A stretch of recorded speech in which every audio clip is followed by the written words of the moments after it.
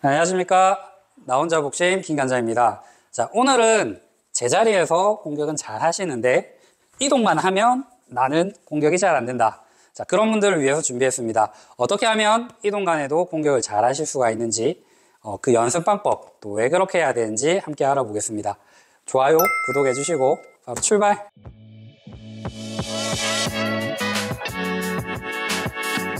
자, 우선 가장 기본이 되는 원투 공격을 가지고 설명을 해보겠습니다. 제자리에서 원투 공격을 깔끔하게 할 수 있을 때까지 연습을 하셔야 됩니다.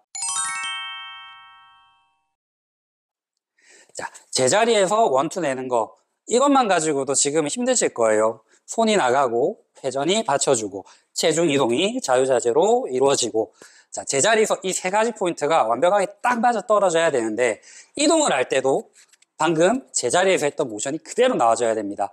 그렇기 때문에 제자리에서 이런 모션이 제대로 되지 않는다면 당연히 더 어려운 단계인 이동 단계에서는 제대로 된 펀치가 나갈 준비가 되지 않은 거죠. 그래서 첫 번째로는 제자리에서 펀치를 내는 법, 눈 감고도 할 수 있을 만큼 충분히 연습하시는 것을 권해드립니다. 그 연습 방법에 대해서는 다른 영상에서도 다뤄놨으니까요. 링크 따라가시면 제자리에서 공격하는 법 보실 수가 있습니다.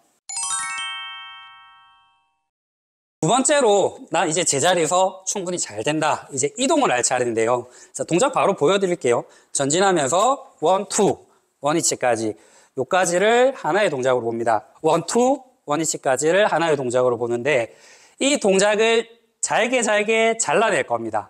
총 네 동작으로요. 자, 하나로 보는 원투의 공격을 네 동작으로 하나, 그러고 둘, 우리가 처음 잡은 기본 자세죠. 셋, 넷 이렇게 네 동작으로 나눠서 연습합니다. 다시 한번 하나, 둘, 셋, 넷 어느 부분에서 보폭이 넓어지고 가드와 보폭이 원위치를 확보하고 공격이 나가고 다시 원위치까지 그런 손발과 중심의 연결 과정을 조각조각 내봄으로써 명확하게 이해하시는 게 필요합니다.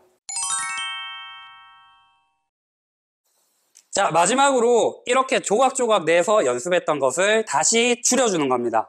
네 동작으로 하나, 둘, 셋, 넷이었던 동작을 하나, 둘로. 두 동작이었던 걸 한 동작으로. 이런 식으로 동작을 나눠서 익히시고 연결을 하시고.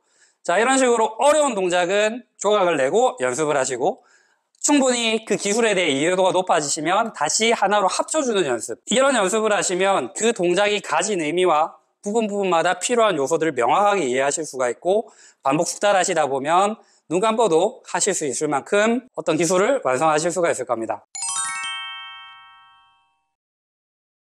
우선 내가 하고자 하는 기술이 제자리에서도 충분히 될 수 있게 연습을 할 것.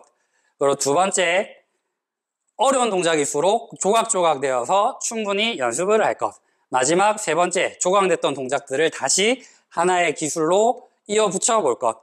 이런 순서를 따르시면 어떤 어려운 기술도 쉽게 여러분 것으로 만드실 수가 있을 겁니다.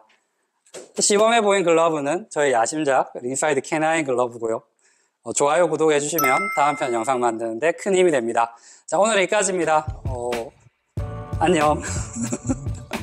네, 뭐 질문 없어요? 아, 샌드백으로 걸 연습할 때 어떻게 하는지.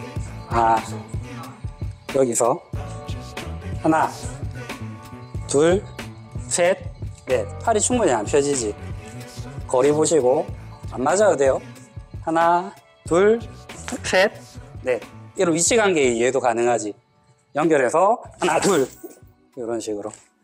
그러면 연습할 때는 굳이 모든 주먹이 샌드백에 맞춘다는 감각관념 안 가지고 안 되지. 이거는 자세 연습이잖아. 내가 원투를 만드는데 어떤 지금 왼손이 나갈 때 이 손이 이 발이 나갈 거냐 안 나갈 거냐. 오른손이 나갈 때 이게 나갈 거냐. 제자리 받아치기 카운터 아니면 전진 라이트. 어, 똑같은 오른손이라도 지금 one-two에서는 손발이 어떻게 움직이느냐. 뭐 이런 걸 이해하기 위해서 조각을 내기 때문에 우리가 처음에 전진잽 했던 것도 어떤 동작의 일부분, 전진잽, 원위치, 공방이 가능한 가장 이상적인 기본 자세, 거기서 발이 우선돼서 공격이 나가고 다시 원위치로 이게 순식간에 이루어져야 돼요.